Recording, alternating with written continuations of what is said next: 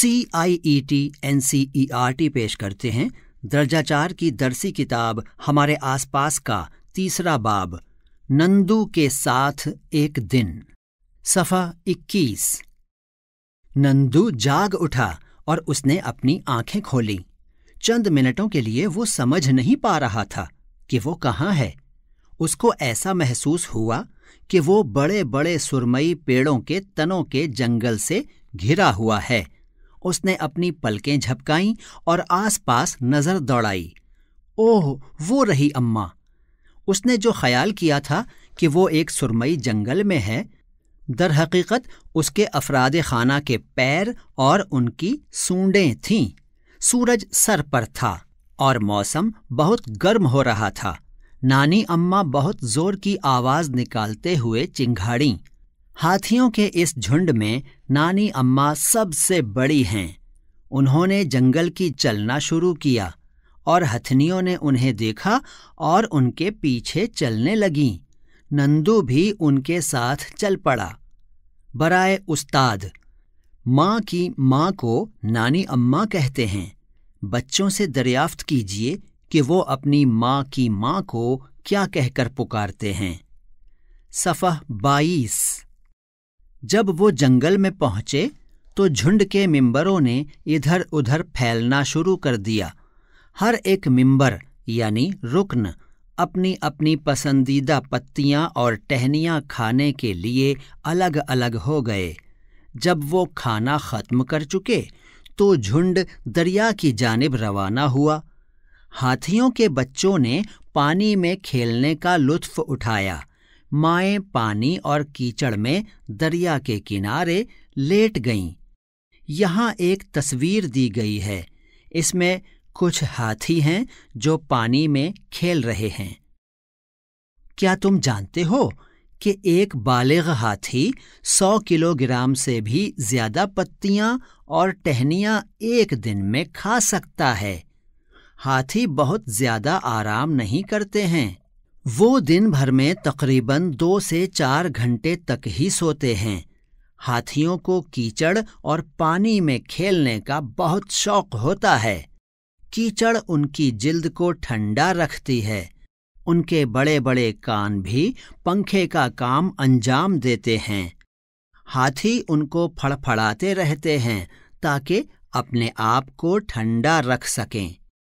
मालूम करो नंदू की उम्र महज तीन माह है, लेकिन उसका वज़न 200 किलोग्राम है।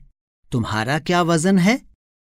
तुम्हारे जैसे कितने बच्चों का वज़न मिलाकर नंदू के वज़न के बराबर होगा? सफ़ा तेईस। यहाँ एक तस्वीर है।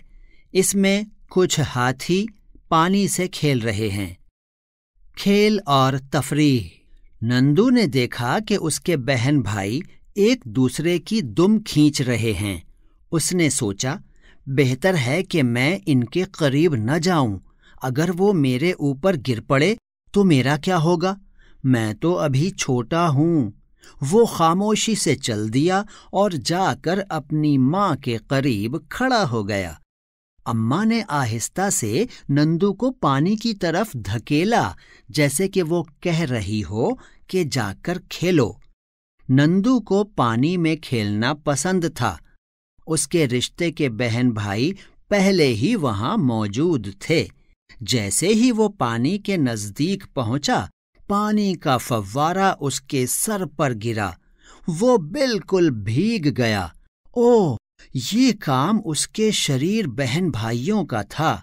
नंदू भी सब के साथ खेल में शामिल हो गया। सफ़ा चौबीस सूरज गुरूब होने से पहले हाथियों का झुंड जंगल की तरफ़ चल पड़ा। उस वक्त तक नंदू बहुत थक गया था। वो दूध पीते पीते अपनी अम्मा के पाँव के दरमियान सो गया। तुमने नंदू और हाथियों के झुंड के बारे में पढ़ा। हाथियों का झुंड सिर्फ़ हथनियों और हाथी के छोटे बच्चों पर मुश्तमिल होता है।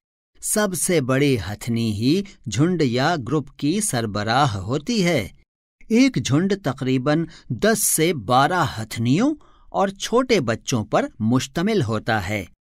नर हाथी झुंड में या गिरोह में चौदह या पंद्रह साल की उम्र तक ही रहते हैं। इसके बाद वो झुंड को छोड़ देते हैं और अकेले घूमते फिरते हैं। नंदू भी उस वक्त तक ही झुंड में रहेगा, जब तक वो इतना बड़ा नहीं हो जाता है। हाथियों की ही तरह कुछ और जानवर भी गिरोह में मिलजुल कर रहते हैं। उन जानवरों के गिरोह, झुंड या गल्ले होते हैं। एक झुंड के जानवर आमतौर पर खाने की तलाश में साथ साथ ही घूमते फिरते हैं। अगर आप नंदू होते और एक झुंड या गिरोह में रह रहे होते तो किस किस्म का काम और हरकतें करते? हाथियों के झुंड में सभी फैसले सबसे बुज़ुर्ग हथनी लेती है।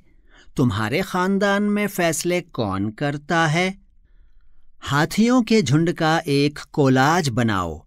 इस मकसद के लिए हाथियों की जितनी ज़्यादा से ज़्यादा तस्वीरें जमा कर सकते हो, करो। उनको काटकर अपनी कॉपी में चिपकाओ। सफ़ा पच्चीस। नंदू वो सब चीज़ें करता था जो उसको पसंद थीं।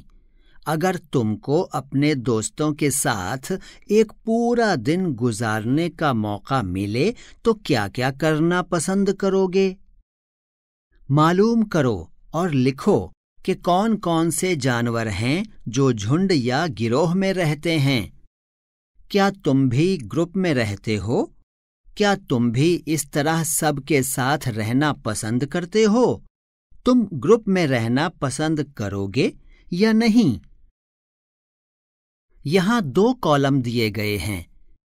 पहला है, मैं ग्रुप में रहना क्यों पसंद करूँगा?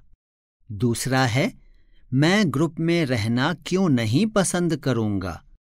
जब हाथियों को जंजीर में बांधकर रखा जाता है तो वो कैसा महसूस करते हैं? इस पर बातचीत करो और अपने एहसासात में दूसरों को शामिल करो। सफ़ा छब्बीस। क्या आपने कभी हाथी की सवारी की है? कैसा महसूस हुआ? किन किन जानवरों पर तुम बैठ चुके हो?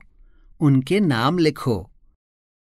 तुमने अपने चारों तरफ़ बहुत से जानवरों को फ़िल्मों या किताबों में महसूस किया होगा। कुछ अकेले होंगे तो कुछ गिरोह में। उनमें से किसी जानवर के बारे में मालूम हासिल करो और उसके बारे में लिखो। यहाँ एक तस्वीर दी गई है जिसमें दो हाथी और एक हाथी का बच्चा जा रहे हैं। हाथियों पर लोग बैठे हैं। सफ़ह सत्ताईस। सोचिए और लिखिए। तुम्हें क्या लगता है कि बगुला भैंस की पीठ पर क्यों बैठा हुआ है? यहाँ एक तस्वीर दी गई है जिसमें एक भैंस पर एक बगुला बैठा है। क्या तुमने कभी सुना है कि कोई जानवर किसी दूसरे जानवर पर सवारी करे? ऐसे जानवर का नाम लिखो। जानवर जो सवारी कर रहा है, वो जानवर जिस पर सवारी की जा रही है। ऐसे जानवरों के नाम लिखो, जिन्हें हम सवारी के काम में लाते हैं। ऐसे जानवरों के नाम लिखो, जिन्हें हम सामान ढोने के लिए इस्तेमाल करते हैं। अपना खुद का हाथी बनाओ। अगले सफ़ह पर दी गई हाथी की तस्वीर को बड़ा करके एक मोटे कागज़ के सफ़े पर बनाओ। तस्वीर में जहाँ काटो लिखा है, वहाँ पर थोड़ा सा काटो। एहतियात से काटो कि तस्वीर का कोई हिस्सा कट न जाए। नुक्तों वाली लाइन के साथ मोड़ो। धारियों वाली लाइन के साथ साथ अंदर को मोड़ो। दुम काटकर बनाओ और उसको चिपका दो। तुम्हारा हाथी तैयार है। सफ़ा अट्ठाईस। रंग भरो और सजाओ। उन हाथियों की तस्वीरें अपनी जमात के कमरे में सजाओ जो तुम लोगों ने बनाई हैं। सफ़ा उनतीस। वो क्या कहते हैं? यहाँ कुछ जानवरों की तस्वीरें हैं और वो क्या कह रहे हैं? ये लिखा है। इन तस्वीरों को बगौर देखिए और पढ़िए कि ये जानवर अपने दस्तों से क्या बातचीत कर रहे हैं। सांप कहता है, ये टोकरी ही अब मेरा घर बन गया है। मैं तो जैसे खुले जंगल और ताज़ा हवा में रहना ही भूल गया हूँ। मेरे लिए बस अब सिर्फ़ टोकरी और सपेरा ही सब कुछ है। भालू कहता है आप मुझे सर्कस में देखते हैं, नाचते हुए और आग के गोले में से कूदते हुए।